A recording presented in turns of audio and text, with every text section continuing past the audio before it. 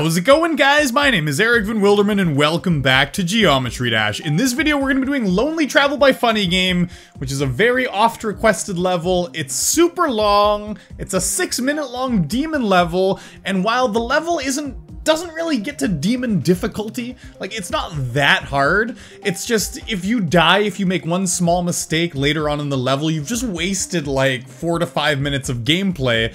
And uh, the end of the level is the harder part. It's, uh, there's some tricky bits at the end. A little tricky. You can easily mess up, I should say, but I mean, still, it's not that bad. You just gotta kinda focus your mind for six minutes and not be distracted. So this level is very beautiful. It's an amazing level. And I don't want to ruin it with my commentary and face cam, so what I'm gonna do is I'm gonna take you guys through practice mode, and then I'm just gonna do the level, because uh, there's no point in just talking through this level. It is just way too beautiful. Way too beautiful for that. So let's just go. Uh, so the first parts are pretty easy, and the first parts of this level are all black and white. I think this level is actually like, it says lonely travel and there's a bunch, it looks like there's a bunch of different like time periods in here. So I was wondering if it was like the story of a time traveler or something that sees many different things like the beginning of the world and uh, you know, different time areas of humanity because there's like pyramids at the end and stuff like that. But I, I don't know. I don't know. Maybe I'm just thinking too much about it and it's just like a cool little aesthetic. So as you can see so far, it's pretty easy. Like, you'd be like, well, this is a demon, what the hell? But I mean, you, you gotta focus for six minutes, and that's, oh my god. I can't believe I died there, that was really stupid. So you gotta focus for six minutes long, and that's what makes this level really hard. What am I doing? It's because I'm talking while I'm playing this. It's, it's, that's not good. I gotta, okay, come on, here we go. So after that part, you just go up, you swing up, it's really easy. The first coin's about to come soon. Right here, you just kind of hold the button, you jump up here, grab the coin. Easy peasy. Now we got like a really easy robot part. See, look, it looks like we're in like some ancient ruins or something, doesn't it? So one would think maybe we're doing time traveling, but I don't know. Maybe I'm just thinking too much about this, aren't I? It is called Lonely Travel. And if we were time traveling, we'd be a lonely traveler. Okay, this is the first bit that comes up that's like mildly tricky. You just gotta make sure you, you, time your jumps properly so you don't get like out of the pattern. Like it's really easy to uh, get in a situation where you can mess yourself up like that, right? I should have been able to go over there, but before I hadn't prepared myself properly. So what I gotta do is I gotta get a little bit higher, or you can just do that. I mean, there's a lot of room to get through there. Um, yeah, that's there's a lot of room. what am I even saying? There's tons of room. And this part is super easy. I mean, this is like a really easy wave part. You just wiggle wiggle through here. Yeah, there, there's a lot of space here. And this part's like the easiest. It gives you a little bit of relaxation. Like, hey, check out the beautiful scenery. It's from a movie.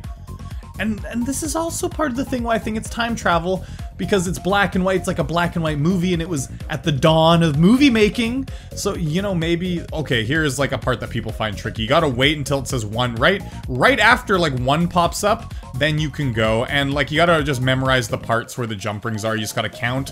It goes like one, two normal jumps, then a jump ring, and then you jump three times, and then there's a jump ring. Uh, this part can seem tricky at first but it's not that bad. The mini UFO part's really easy. When you're a bit thicker, when you're a bigger UFO, it's crazy. Now this part is uh, basically when you tap the button, the spikes will change. So I died there on purpose. I just want to show you guys this. Um, so when I tap the button, the spikes will change. So for example, I'm gonna die here. If I go up here, but then I press the button, the spikes change and I die. I can't get down there. So I gotta wait until I'm clear from the spikes before I can change the positioning of them. And so it's it's a, that's a really cool gameplay feature. That is super neat. And then you just do the part accordingly according to that, which is just remembering what's coming up in memorization. Very easy, nice rocket or rocket. What am I talking about? Nice, easy robot part. But you gotta watch out because there's the coin there if you want to get the coin. If you're into that sort of thing, if you're into the bling, then you want to get that coin. And here's another easy part where we just coast along. And see, I, you know, when I was originally playing this level, I thought it was like our journey to heaven, right? Because of this part and the color at the end, like the color parts at the end is like, oh, did we reach heaven or whatever? But I still think it's about time travel because there's like pyramids at the end. I was like, well, there's, why was there pyramids in heaven? Just doesn't make sense. Cause see the clouds right here, that's why I was thinking maybe we're going to heaven. But um, I'm not so sure about that. I definitely think it's time travel and we're a lonely traveler. Or we're traveling between worlds. That could be it. We could be traveling between worlds. So this part wasn't too tricky. This part right here, you just got just got to remember when to jump. That was super stupid of me. See, that's the kind of thing that would piss me off is like, if I'm like four minutes into this level and I die to that spike, that would be super shitty. Okay, let me focus here and explain this part. So this part, you gotta make sure not to jump too early with those spikes. A lot of the times when you hit the ground like that, you gotta jump right away or else you're gonna die. Like here, if you jump right away, you're gonna die there. So you gotta wait just like a split second and then continue on your merry way. So some, some parts are a little harder than others. And now it starts to get a little hard because there's these white orb things that are flying around, and if you touch them, you're gonna die. See, I'll show you. You touch it and you die. And uh, it can be a little tricky to avoid. You need to make sure you're on the right pattern. I like to stay low here. Low, low, low. Stay low, don't go high. And now I go over this one high, and then this one comes up, and you go and you tap that block, and you keep on going through here. And now it's just easy. And doing this as the wave is super easy. The UFO is way harder than the wave going through this section. I've n I don't think I've ever died as the wave to these orbs at all. They're really easy to dodge, but as the UFO, you can get off track really easily, and so sometimes it's hard to correct yourself again. And now we got another nice easy segment where we just jump over some blocks and some cogs. But it's cool, it's like, see, I originally thought with the heaven analogy that this was like the stairway to heaven, but no, I don't, I don't think so. And now we gotta get the first and the third keys to get the last coin. And off we go. Now we're in the sky, and this is another part that looks very heavenly. So we can't touch those sides parts, but um, there's a lot of leeway. Like, it, there's a lot more space than it looks like. So you gotta stagger your wave a little bit. As you can see, I'm not just like going straight up, I'm like staggering it. If you don't stagger it, you're gonna die. Okay, fall down here. That part might trick me up because sometimes I just like to jump. And now we're on, oh, this part's easy. What am I talking about? But this part's really cool though, I like, I like the way it looks. The forest. But now we gotta get ready for the next hardest part near the end here. This is just as hard as the orbs. The UFO orb parts. Another UFO part. Uh, we gotta dodge, like, these stars falling from the sky.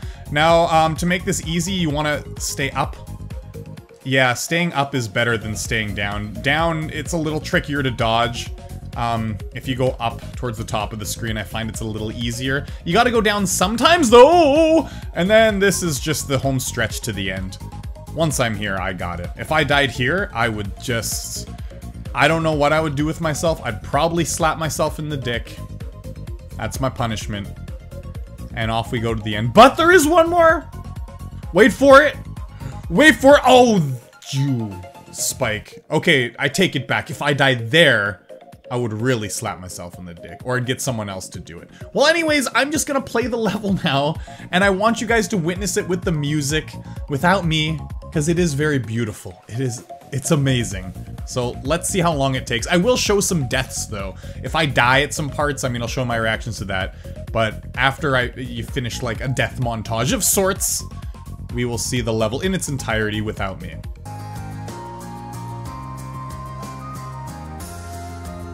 What? I I, the two spikes there. I jumped over them, but I just hit like the edge and I fell down and so I couldn't jump up. Oh, that's bullshit. It's only 45%. Holy shit, I felt like I was playing forever. Oh, now I'm just off my game. That was a, that was a hard death to take. I was doing really good. But I mean, there's still so much of the level left.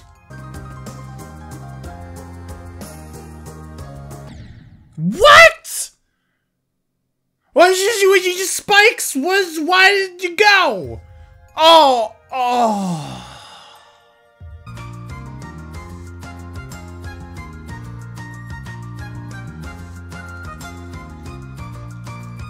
Oh no, I jumped way too many times there. Bullshit. I know I jumped too many times. I was right at the end of that segment. There was literally like three seconds left there.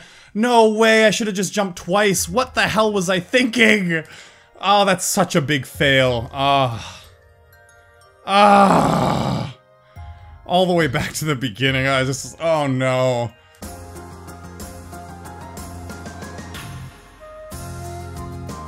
What? The I jumped in a weird place and the screen like shifted down. Oh no, I broke the game. I broke it. I broke the level.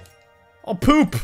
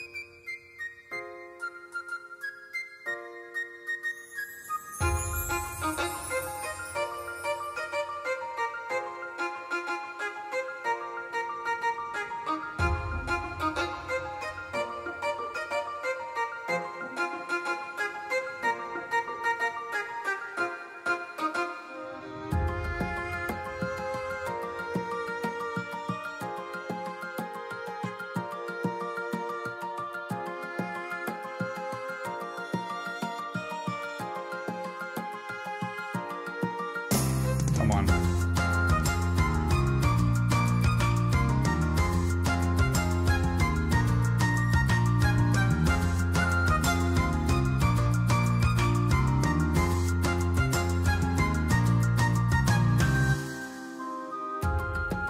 Yes. Coast it till the end, baby. Hello, pyramids. You're my friend. I love you. It means we've beaten this level, yay. But don't forget that last spike! Come on. It was cool, I really dig it, but don't hit that spike! Oh yeah, I'm so good at making them beats. The music stopped. Wow, this level is so cool. I love it so much. Because it's not too hard, so you have a fighting chance throughout the whole thing. You have to be consistent, though. And uh, the song is awesome, too. The song reminds me of something that would come out of, uh, like, Shadow of the Colossus. I don't know if you're too familiar with it. I did a playthrough of it. It's very cool. Like Shadow of the Colossus or uh, the Princess Mononoke or something like Joe Hisaishi. Very cool. I love it so much. Wow. That's so cool. Anyway, so Funny Game always makes really good levels. It's always cool when he makes a new one. Um, he doesn't make frequent levels, but when they do come out, they're amazing. So yeah, it's it's worth the wait. Huh! This level's so cool. So anyways, um, I practiced this a lot. Reason being is I reformatted my computer recently and I was getting a lot of screen tearing and I had to tweak the settings a lot, so I was practicing through it. So I think I'm over like 300 attempts, yeah. A lot of those were just attempts when I was practicing um, during the screen tear though, and I was trying to fix it because um, reformatting sucks. But I did manage to fix it. I had to tweak a lot of my NVIDIA GeForce settings. It's kind of a pain in the butt, but yeah, I really hope you enjoyed. Remember to leave a like down below, and uh, I'll see you in future Geometry Dash videos. As always, guys, peace.